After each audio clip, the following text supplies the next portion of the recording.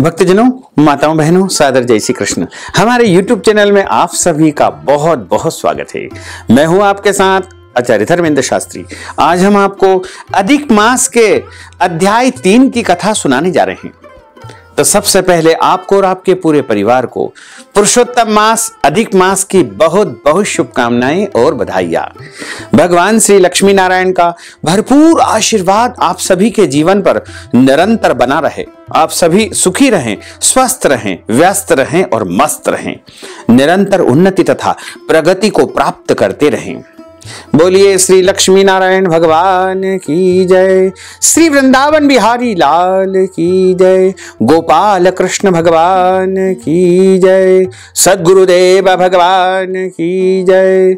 श्री गिरिराज धरण की जय। श्री गोवर्धन नाथ भगवान की जय। श्री श्याम सुंदर यमने महारानी की जय। जगत गुरु श्री वल्लभाधीश की जय। गुसाई जी परम दयाल की जय। जय। श्री गुरुदेव की जय। आज के आनंद की जय। लाडले लाल की जय। गुरुर ब्रह्मा, गुरुर विष्णु गुरुर्देवो महेश्वरा, गुरु साक्षात पर ब्रह्म तस्मै श्री गुरुवे नमः।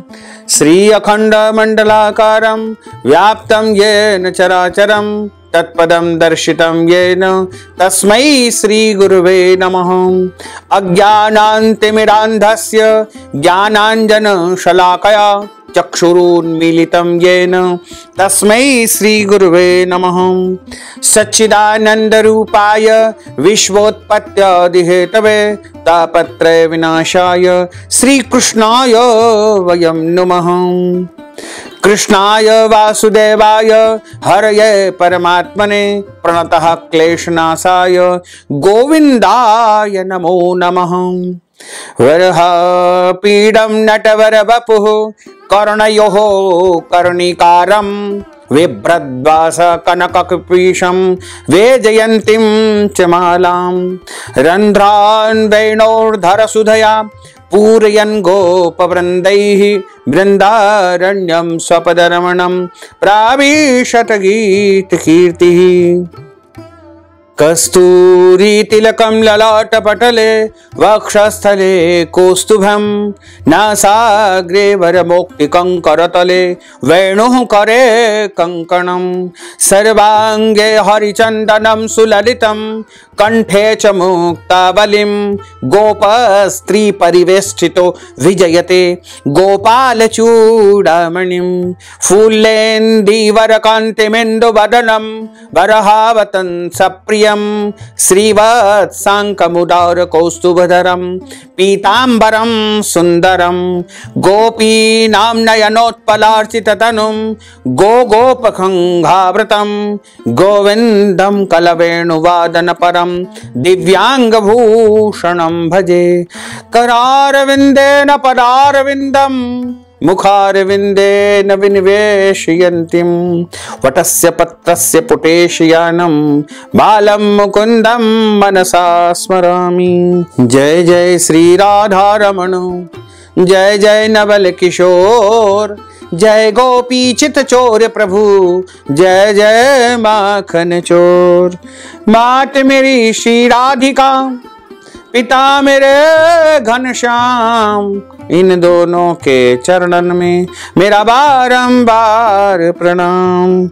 मोहिनी मूरत श्याम की, वो मन रही समाय। जो मेहंदी के पात में लाली रही समाय धन यौवन एक दिन उड़ जाएँगे, जैसे उड़े कपूर। मन मूरख तू राम भज, क्यों चाटे जगधूर? राम कृष्ण दो एक है अंतर नहीं निमेश, इनके नयन गंभीर है, उनके चपल विशेष। बोलिए श्री वृंदावन बिहारी लाल की जय, गोपाल कृष्ण भगवान की जय।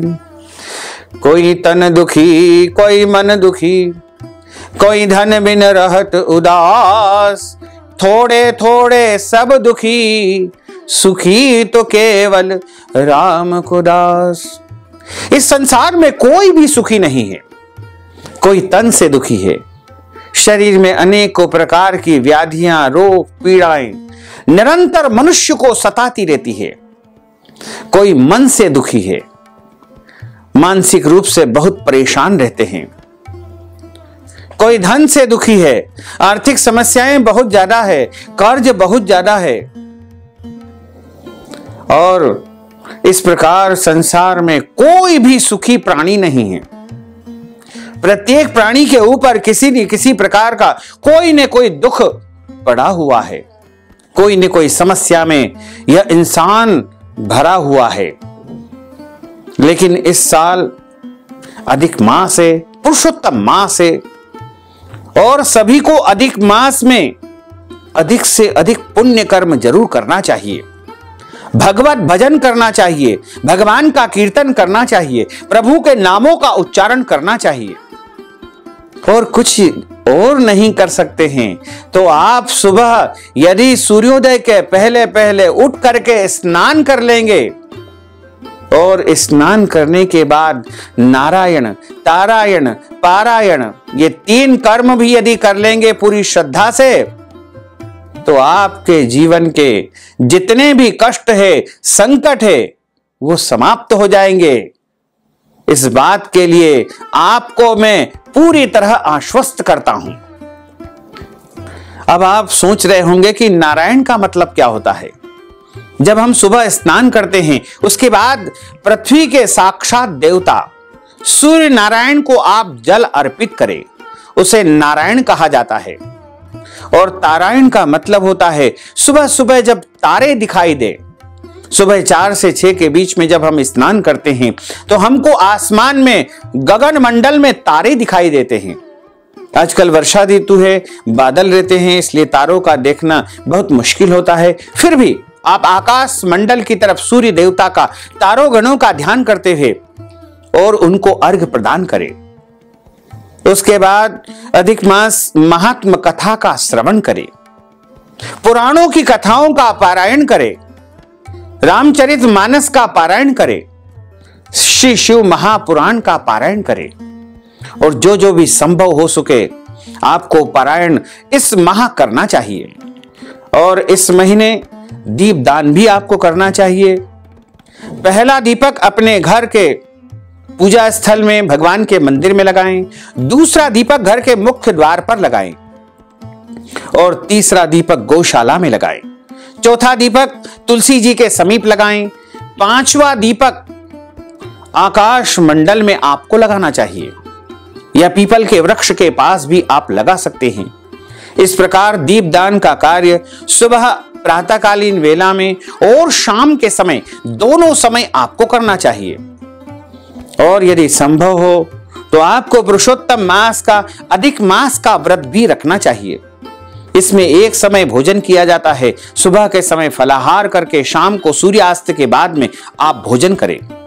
और यदि पूरे महीने व्रत रखना, उपवास रखना संभव नहीं है तो आप अधिक मास के जो अंतिम के पाँच दिन रहेंगे, उनमें व्रत रख के अधिक मास का पूरा पुण्य प्राप्त कर सकेंगे। अधिक मास में झूठ नहीं बोलना चाहिए, गाली गलोच नहीं करना चाहिए, लड़ाई झगड़ा नहीं करना चाहिए, वाद विवाद नहीं करना चाहिए। और इस महीने आपको दाढ़ी, कटिंग, शेविंग भी नहीं करवाना चाहिए। ब्रह्मचर्य व्रत का पालन करते हुए, पवित्रता के साथ, शुद्धता के साथ में भगवान का नाम संकीर्तन करना और भजन करना, पुण्य करना, दान करना, स्नान करना तीर्थ यात्रा करना और परोपकारी कार्य करना। गरीबों की सेवा करना, मरीजों को दवाई देना, और जितना भी हो सके अच्छा कर्म करे, पुण्य कर्म करे। क्योंकि अधिक मास में यदि आप पुण्य कर्म करोगे तो आपको करोड़ों गुना उसका फल मिलेगा। और यदि कोई गलत काम करोगे, पाप कर्म करोगे तो उतना ही उसका पाप आपको भोगना पड़ेगा। इसलिए आप ध्यान पूर्वक इस समय का यापन करें, व्यतीत करे कि हमारे द्वारा कोई भी पाप कर्म न हो, कोई गलती न हो। किसी प्राणी को हम न तो सताएँ, न मारे, न उसको त्रास दे, न पीड़ा दे। और घर पर यदि कोई याचक भिकारी अथवा जरूरतमंद व्यक्ति आए तो अपनी श्रद्धा, भक्ति और हैसियत के अनुसार कुछ न कुछ दान ज़रूर करें। अधिक मास में लहसुन प्याज नहीं खाना चाहिए। अधिक मास में उड़द की दाल नहीं खाना चाहिए। शहद नहीं खाना चाहिए। कटहल की सब्ज़ी भी इस महीने आपको सेवन नहीं करना चाहिए। बैंगन नहीं खाना चाहिए। मूली नहीं खाना चाहिए। अधिक मास में शुद्ध पवित्र भोजन आपको करके और पवित्रता का पालन करते हुए और इस महीने का व्यतीत आपको करना चाहिए। अधिक मास में प्रतिदिन एक अध्याय का, एक कथा का, एक महात्म कथा का श्रवण किया जाता है। तो आज हम आपको अध्याय तीन, अधिक मास, पुरुषोत्तम मास, महात्म की कथा सुना रहे हैं। इस कथा के अंतर्गत अध्याय दो में जो हमने आपको सुनाया था, उसकी आगे की कथा हम कहते हैं। अब ऋषिगण बोले कि, हे महाभाग, नर के मित्र नारायण, देवर्षि नारद के प्रति जो शुभ वचन बोले, वह आप विस्तार पूर्वक हमसे कहें। श्री सूजी महाराज बोले कि हे द्विज सत्तमो भगवान नारायण ने नारद के प्रति जो सुंदर वचन कहे हैं, वह जैसे मैंने सुने, वैसे ही आप लोग उनको सुनिए, मैं आपसे कहता हूँ। श्री नारायण बोले कि हे नारद, पहले महात्मा श्री कृष्ण चंद्र ने राजा युधिष्ठिर जो कहा, वह मैं तुमसे कहता हूँ ध्यान पूर्वक सुनो। एक समय धार्मिक राजा अजात शत्रु युधिष्ठिर छल प्रिय धृतराष्ट्र के दुष्ट पुत्रों द्वारा द्वित कीड़ा यानी जुआ में हार गए थे। सबके देखते देखते अग्नि से उत्पन्न हुई धर्म परायणा द्रौपदी के बालों को पकड़ करके दुष्ट दुशासन ने खींचा और खींचने के बाद उसके वस्त्र उतारने लगा। तब भगवान कृष्ण ने उनकी रक्षा की। पीछे पांडव राज्य को त्याग करके काम्यक वन में चले गए। वहाँ अत्यंत क्लेश से युक्त वे वन के फलों को खा करके अपना समय, अपना जीवन व्यतीत करने लगे। जैसे जंगली हाथियों के शरीर में बाल रहते हैं, उसी प्रकार पांडवों के शरीर में बाल हो गए। इस प्रकार दुखित पांडवों को देखने के लिए भगवान देव की सुत मुनियों के साथ काम्यक वन में गए। उन भगवान को देख करके मृत शरीर में पुनः प्राण आ जाने की तरह युधिष्ठिर, भीमसेन, अर्जुन, नकुल, सहदेव, प्रेम विबल होकर के सहसा उठ खड़े हुए और प्रीति से भगवान श्री कृष्ण के गले मिले और भगवान कृष्ण के चरण कमलों में भक्ति से नमस्कार करने लगे। द्रौपदी ने भी धीरे धीरे वहाँ आकर के आलस्य रहित होकर के भगवान को शीघ्रता पूर्वक प्रणाम करके नमस्कार किया। उन दुखित पांडवों को मृग के चर्म के वस्त्रों को पहने देख और समस्त शरीर में धूल लगी हुई, रूखा शरीर चारों तरफ़ बाल बिखरे हुए हैं। द्रौपदी को भी उसी प्रकार दुर्बल शरीर वाली और दुखों से घिरी हुई देखा। इस तरह दुखित पांडवों को देख करके वे अत्यंत दुखी हुए।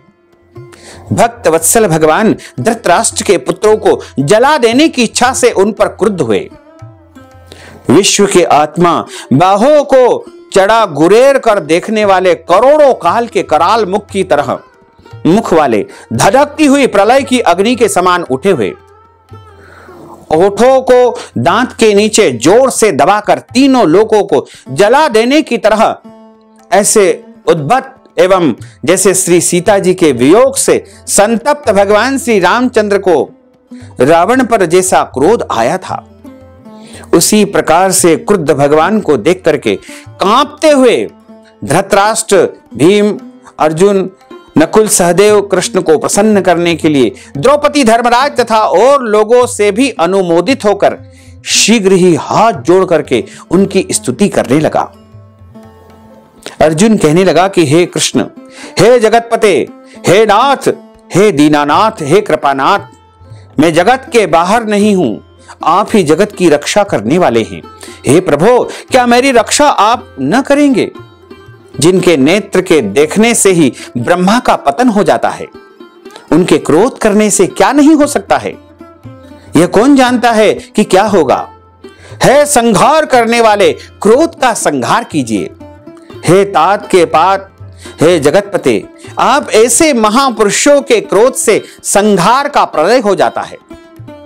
संपूर्ण तत्व को जानने वाले, सर्व वस्तुओं के कारण के कारण, वेद और वेदांग के बीच के बीच आप साक्षात श्री कृष्ण हैं। मैं आपके चरणों की आपकी वंदना करता हूँ। आप ईश्वर है।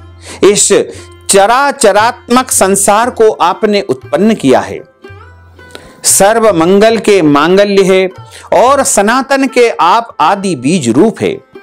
इसलिए एक के अपराध से अपने बनाए समस्त विश्व का न, आप नाश कैसे करेंगे? कौन भला ऐसा होगा जो मच्छरों को जलाने के लिए अपने घर को जला देता हो?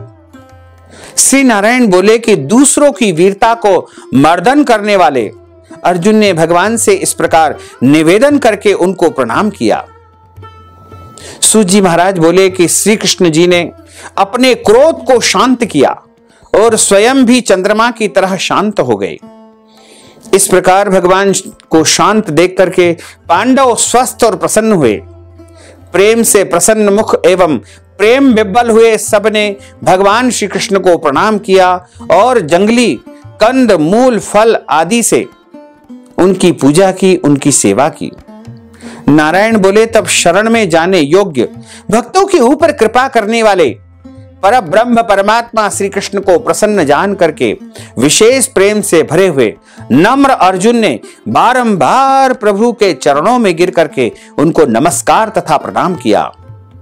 और जो प्रश्न आपने हमसे किया, वही प्रश्न उन्होंने पर ब्रह्म परमात्मा श्री कृष्ण से किया।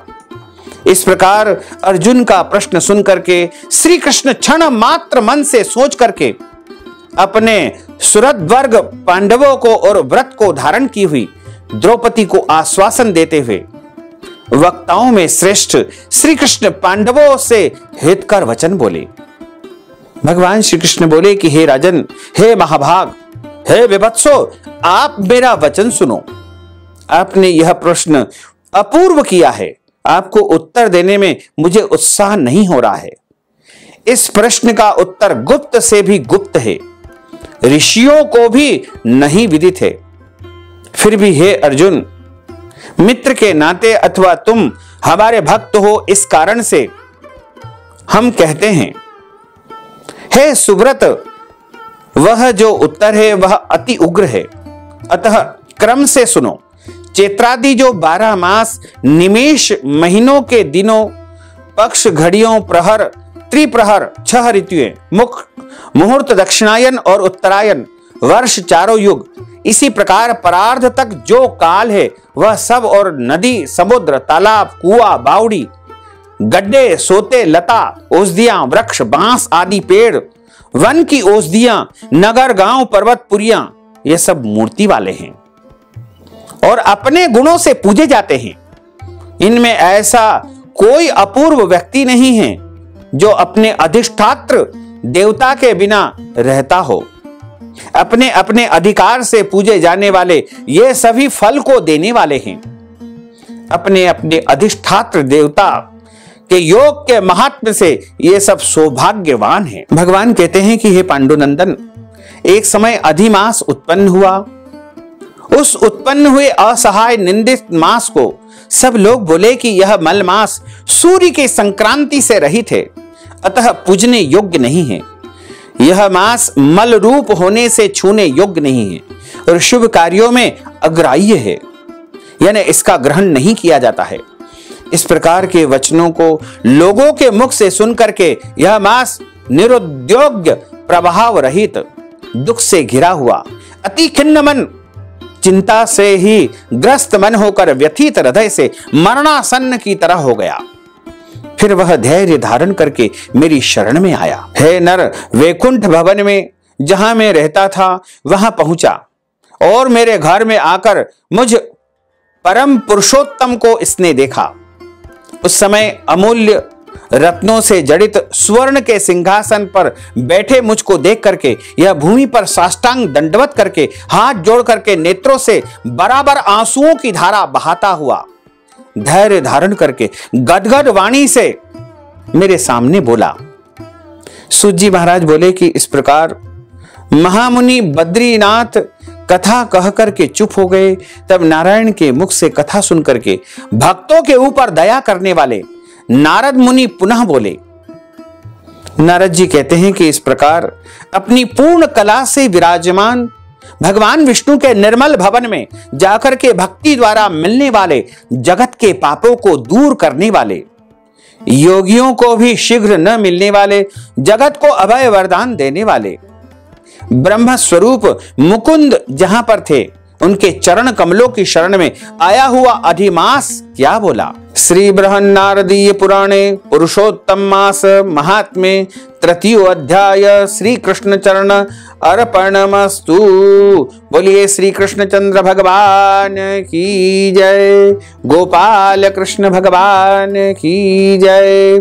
अच्युतम केशवम राम नारायणम कृष्ण दामोदरम वासुदेवम हरे। श्रीधरम माधवम गोपिका वल्लभम श्री जानकी नायकम श्री रामचंद्रम भजे। जानकी मनोहरम सर्वलोक नायकम श्री शंकरादि सेवितम पुण्य नाम कीर्तनम श्री राम राम राम राम राम नाम तायकम राम कृष्ण वासुदेव भक्ति मुक्तिदायकम राम कृष्ण वासुदेव भक्ति मुक्तिदायकम राम कृष्ण वासुदेव भक्ति मुक्तिदायकम राम कृष्ण वासुदेव भक्ति मुक्तिदायकम बोलिए श्री लक्ष्मी नारायण भगवान की जय। श्री वृंदावन बिहारी लाल की जय। गोपाल कृष्ण भगवान की जय। श्री गिरिराज धरण की जय। श्री गोवर्धन नाथ भगवान की जय। श्री श्याम सुंदर यमने महारानी की जय। जगत गुरु श्री वल्लभाधीश की जय। गुसाई जी परम दयाल की जय। श्री गुरुदेव की जय।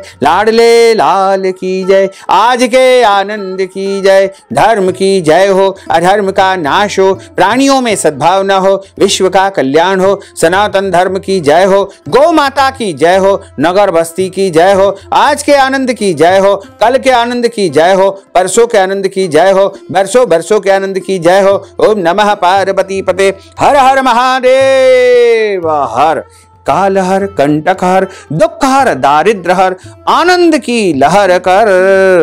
भक्तजनों, माताओं बहनों, यदि आप पुरुषोत्तम मास, अधिक मास के निमित्त कथा की दक्षिणा प्रदान करना चाहते हैं मालपुआ दान करना चाहते हैं या कोई भी दान पुण्य अपनी ओर से पुरुषोत्तम माह के निमित्त करवाना चाहते हैं या करना चाहते हैं तो इस हेतु अपना नाम और गोत्र हमें व्हाट्सएप के माध्यम से भेजे। इस हेतु नगद राशि हमारे गूगल पे फ़ोन पे अथवा पेटीएम नंबर के माध्यम से भेज करके अधिक मास पुरुषोत्तम मास का संपूर्ण पुण्य लाभ आप प्राप्त कर सकते हैं।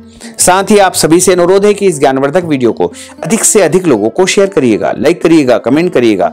और यदि अभी तक आपने सब्सक्राइब नहीं किया है तो अभी और इसी समय सब्सक्राइब अवश्य कर लीजिए। आपको और आपके पूरे परिवार को सादर जय श्री कृष्ण। सादर धन्यवाद।